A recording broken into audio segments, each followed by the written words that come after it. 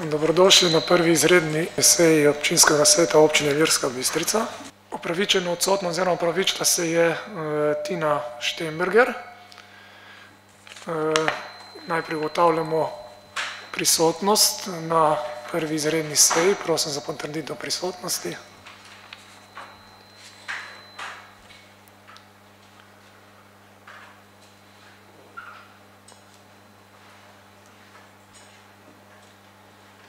Prisotnih je dvajset od triindvajsetih občinskih svetnic oziroma svetnikov. Dobili ste dnevni red, eh, prve izredne seje ima samo eno točko, in sicer kadrovske eh, zadeve. Gre za imenovanje direktorice Turistično-informacijskega centra Ilirska Bistrica. Eh, Poroča Andrej Bergoč, predsednik komisije za mandatna vprašanja, volitve in imenovanja. Ampak najprej gremo seveda v sprejemanje dnevnega reda. Razprava.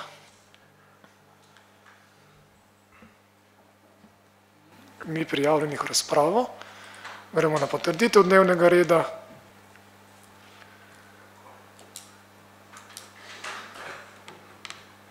Za je glasovalo dvajset prisotnih, torej vsi prisotni, dnevni red je potrjen. Kot sem povedal, ena točka dnevnega reda, imenovanje direktorice Turistično-informacijskega centra Ilirska Bistrica, poroča Andrej Bergoč, predsednik komisije za mandatna vprašanja, volitve in imenovanja. Prosim. Ja, lep pozdrav. Komisija za mandatna vprašanja, volitve in imenovanja predlaga občinskemu svetu Občine Ilirska Bistrica, da imenuje Majo Uljan za direktorico javnega zavoda Turistično-informacijski center Ilirska Bistrica. Imenovana nastopi štiriletni mandat s prvim devetim tisoč dva tisoč triindvajset. Hvala za poročilo. Odpiram razpravo na edino točko dnevnega reda.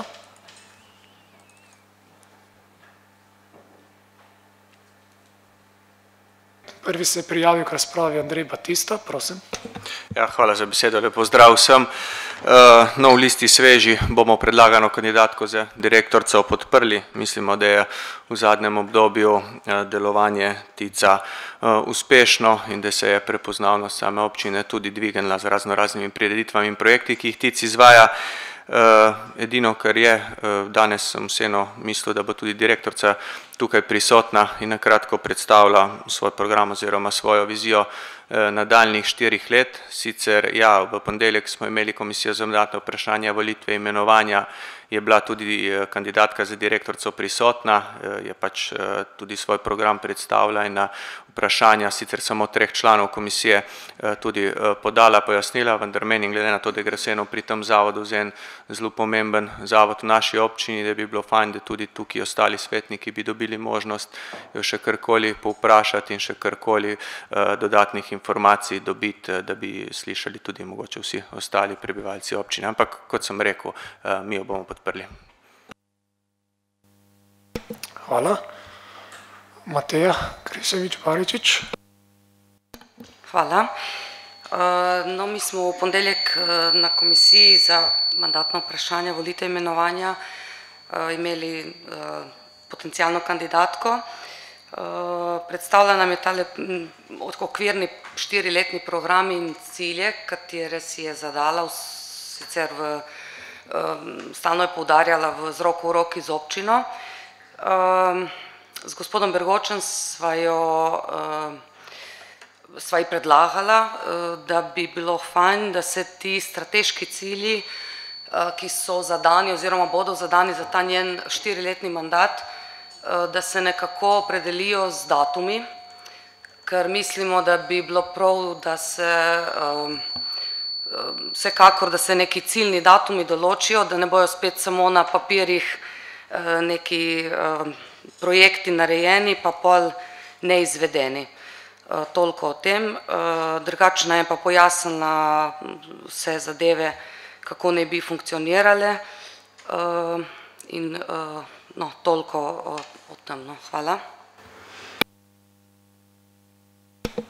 Prosim še Andrej Černigoj se je prijavil v razpravo. Gospod župan, hvala za besedo. Govoril bom imenu svetniške skupine Nove Slovenije.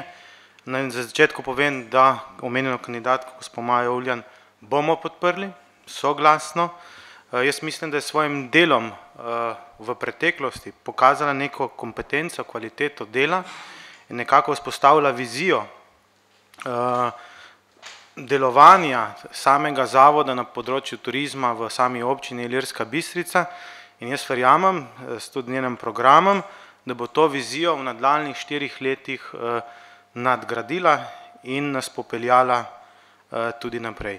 Jaz moram reči, da nekako sem vesel, da je omenjena oseba, omenjena direktorica vzpostavila ne samo sebe, ampak delovanje celotne ekipe Tica, ki delujejo enotno, ki delujejo homogeno in ki so srcem pri tej stvari, srcem in so se v preteklosti že izkazali na raznih projektih, da Ilirska Bistrica zmore in da lahko na tem področju Ilirska Bistrica da tudi nekako zgled drugim sosednjim občinam.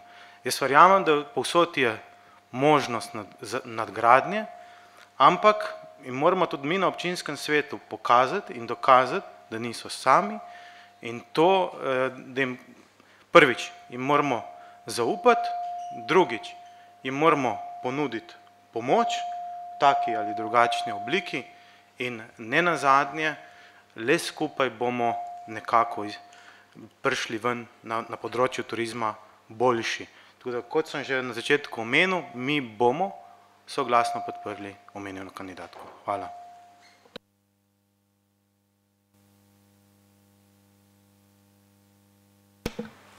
Ugotavljam, da ni nadaljnjih prijavljenih na razpravo.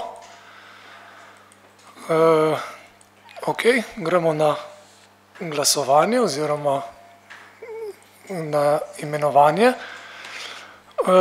Najprej potrdimo prisotnost.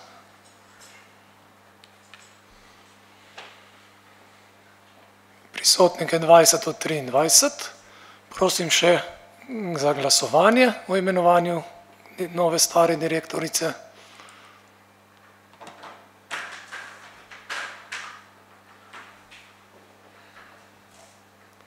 Za je glasovalo devetnajst od dvajsetih prisotnih, s čimer ugotavljamo, da je Maja Uljan imenovana za nadaljnji štiriletni mandat na mestu direktorice javnega zavoda Turistično-informacijski center Ilirska Bistrica in na tem mestu čestitam.